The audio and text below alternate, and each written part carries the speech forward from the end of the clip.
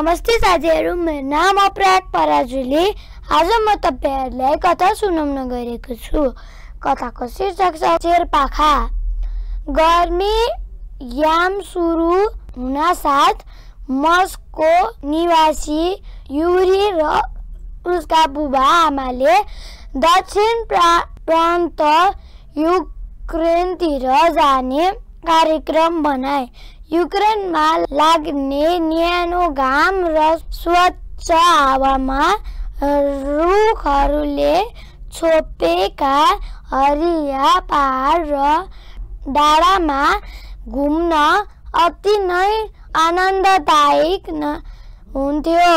त्यस्तै वातावरणमा एक दिन पहाडीमा घुम्दै गर्दा युरीले हरियो घाँसमा लुकेर बसेको एउटा कछुवालाई रुसी भाषामा चेरपाखा देखियो। चेरपाखा रमाई रमाई हिँडिरहेको थियो। युरीले चेरपाखालाई किताब र फिल्ममा मात्र देखेको थियो।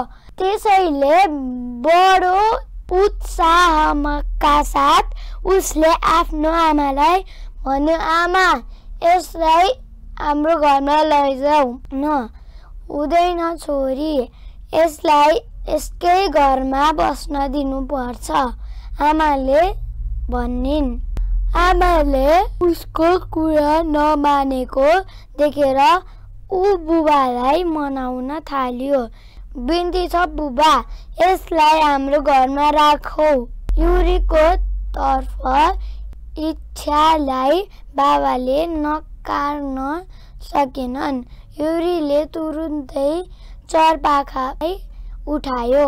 यसरी चेरपाखालाई उठाउँदा चेरपाखाले न आफ्नो हात खुट्टा खुम्चायो न आफ्नो गर्दन नै भित्र लुकायो। युरीले रुखका केही नरम कलिलो पातहरू टिप्यो र चेर पाखालाई खान दियो। ऊ पातहरू मजाले खान थाल्यो। अब त चेरपाका युरीको खेलौना जस्तै भयो। चेरपाकाका दिन त मस्तीमा बित्न थाल्यो। युरीले उसलाई केहीले कहिले बन्दा कोबी कहिले गाजर त कहिले पालुङ्गो साग दिने गर्थ्यो। आहा उसलाई त कति मजा चाराको खोजीमा हिँड्न पनि नपर्ने। समयमा खाने पनि पाउने। उनीहरूको तिन हप्ताको युक्रेन भ्रम्न सकियो। मस्कोमा उनीहरूले आफ्नो कुकुर छोडेर आएको थिए। उसको नाम सबका थियो। उनीहरू सोच्न थाले सबका चेर पखासँग मिलेर बस्न सक्ला कि नसक्ला। चेर पाखा सबकासँग डराउने पो हो कि तर उनीहरू घर पुग्दा सवाका त खुसीले उफ्रिन थाल्यो। युरीले जसै चेरपाखालाई भुइँमा राख्यो ऊ बिस्तारै घर्सिन थाल्यो। सबका का लागि चेरपाखा घम्रेको दृश्य अनौठो थियो। ऊ चेरपाखाको वरिपरि रिङ्दै पुग्न थाल्यो। केही बेपछि सबका चेरपाखा अघि पुग्यो र चेरपाखालाई बिस्तारै काट्यो। चेरपाखा सबाकालाई देखेर रमाइरहेको थियो। दुई दिन नै उनीहरू दुवै साथी भए। केही महिनापछि बाबा आमा र युरीले सबका र चेरपाखालाई पनि आफूसँगै आफ्नो पशु फार्म लागे सभाका फार्मतिर जान पाएकोमा खुसीले नाच्न थाल्यो। उसका लागि मस्कोको घरमा घुम्ने खेल्ने ठाउँ थिएन। त्यही त उसलाई अग्लो घरको छैटौँ तल्लामा खुम्चिएर बस्नु पर्थ्यो। तर यहाँ पशु फार्ममा चाहिँ कुद्ने उफ्रने र खेल्ने ठाउँ प्रशस्त थियो ऊ मस्त थियो। दिनभरि उफ्र कुद्यो र थाकेपछि आराम गर्यो अनि खायो र सुत्यो। युरीले बिहान सबै रे दिन ऊ सभाका र चेरपाखालाई बाहिर डुलाउन लैजाने गर्थ्यो।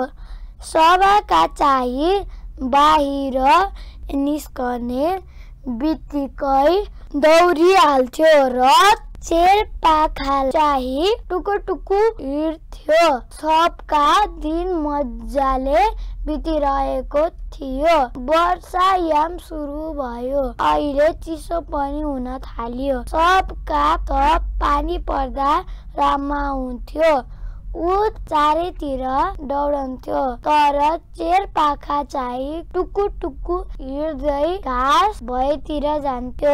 तर एक दिन सधैँ युरीले उनीहरू दुवैलाई बाहिर खेल्नका लागि छोडिदियो। त्यो दिन दिनभरि आकाशमा बादल छाएको थियो। तबका दिनभरि खेलीवरी बेलुकी घर फर्कियो। ऊ पुच्छर लुकाएर अँध्यारो मुख लगाउँदै बसिरहेको थियो। युरीले चेरपाखालाई नदेखेपछि चिन्तित भयो। चेरपाखा त आएन। कतै हरायो कि युरीले आमालाई भन्यो। युरी चिन्तित भयो। देश देखेर आमालाई युरीसँग चेरपाखालाई खोज्न बाहिर निस्किन्। क्यारीमा झ्याङमा ढुङ्गाको कापभित्र सबै ठाउँमा उनीहरूले चेरपाखालाई खोजे तर चेरपाखा कतै भे पनि भेटिएन। अँध्यारो भइसकेको थियो चेरपाखालाई खोज्दा खोज्दै दुवै आमा छोरी थाकिसकेका थिए। उनीहरू निराश भएर घर फर्के। जाडो यामपछि युरीको स्कुल खुल्ने दिन आयो। युरीले स्कुल जान पर्ने पनि थियो। त्यसैले उनीहरू मस्को फर्के।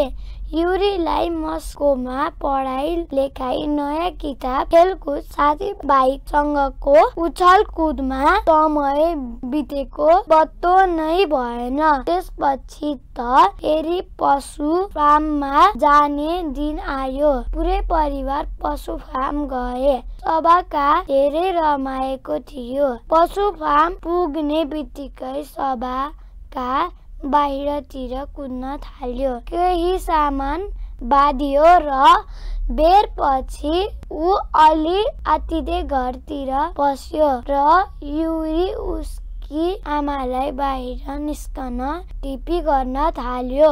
आमा पक्कै पनि सभाकाले केही अनौठो कुरा देखेको त जो बाहिर गएर। बन्दै युरीले आमाको हात समात्यो र आमासँग बाहिर निस्कियो। सभाका दौडेर निरेर पुग्यो जहाँ आगो बालिन्थ्यो र पाइपबाट आगो ताप्न पशु फार्ममा पुग्थ्यो। हिउँको चिसोबाट बाँच्नका लागि त्यस्तो उपाय गरिन्थ्यो। चिम्नी अघि अघिल्लोतिर पुगेर सबाकाले आफ्ना अघिल्लो खुट्टाले भुइँ खन्न थाल्यो। युरी र उसकी आमा चम्निनेर पुगे। सभाले अन्दै गरेको दृश्य दुवै आमा छोरीले आश्चर्य मानि। हेरे हेर्न थाले। सभाकाले माटोमा पुरिएको चेरपाखालाई मुखमा च्यापेर बाहिर निकालियो। आमाले सबै कुरा बुझिन्। वर्षा र चिसोबाट जोगिन चेरपाखा न्यानो र सुरक्षित ठाउँको खोजीमा चिम्नी भएतिर पुगेको थियो। चिसो बढ्दै जाँदा शेर्पाखा भुइँ खन्दै चिम्निनेर त पुग्यो। तर दुर्भाग्यवश शेर्पाखा माटो मुनि पुरियो। भोग र तिर्खाले व्याकुल भएको शेर्पाखा धेरै दिनसम्म बाँच्न सकेन। त्यहाँ उसको खोल मात्र बाँकी थियो र उसका हात मुनि खुट्टा सबै झरिसकेका थिए। आमाले जमिन खनेर शेर्पाखालाई गाडिदिइन् सबाकाले पनि कुरा बुझ्यो। उसले त्यसपछि भुइँ खनेन। ऊ पनि न्याउरो मुख लगाएर युरी र उसकी आमाको पछि घरभित्र पस्यो केही समयपछि उनीहरू काम काफ काट जाने कार्य कार्यक्रम बनाए। युक्रेन जस्तै काफ काज पनि गर्मी मौसममा बिदा मनाउने अर्को एउटा रमाइलो ठाउँ थियो। काफ काजमा पनि एक दिन युरी आफ्नी आमासँग डुलिरहेको बेला चेर पाखा जस्तै अर्को एउटा कछुवा देख्यो। यसलाई अब हाम्रो घरमा नलाने। यसलाई यसकै घरमा बस्न दिने। कस्तो लाग्यो त मेरो कथा साथीहरू?